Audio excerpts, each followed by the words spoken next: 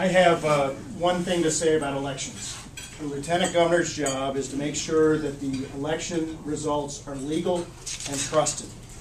Let me talk about trusted for a minute. Uh, in 1978, I was working with in the campaign for governor, where close to a month after the election, we found 247 ballots in a locker here in the Matanuska Valley. We went to the court. We challenged the election. We found in 120,000 votes cast over 10,000 ballots that had been improperly executed.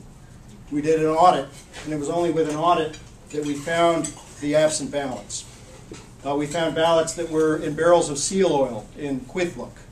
Uh, there, what we learned in that election was actually used in the Bush versus Gore challenge in Florida to make sure we have trusted elections.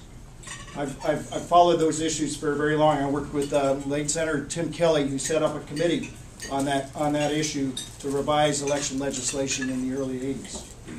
Uh, we will enforce the law. The law right now uh, looks a little loose, and I think we will look at ways we can tighten up the law to make sure it is trusted.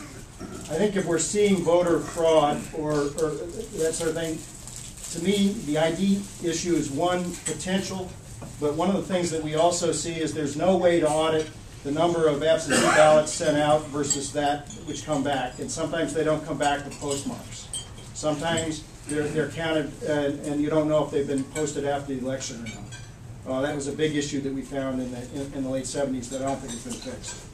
I agree with Jay on the language of, of uh, uh, initiatives. I think we, we face a very important issue. We have to maintain our constitutional right for uh, citizens to directly petition their government.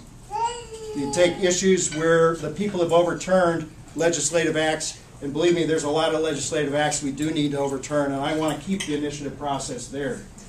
The way we tried to fix the initiative process this year actually will get the lieutenant governor out there and more involved. I frankly wish our previous lieutenant governors had pushed to get this parental uh, uh, notification initiative through the legislature more so that we're not having to vote on it now. I wish we had had some more legislative hearings on this gag issue that is before the ballot at this point.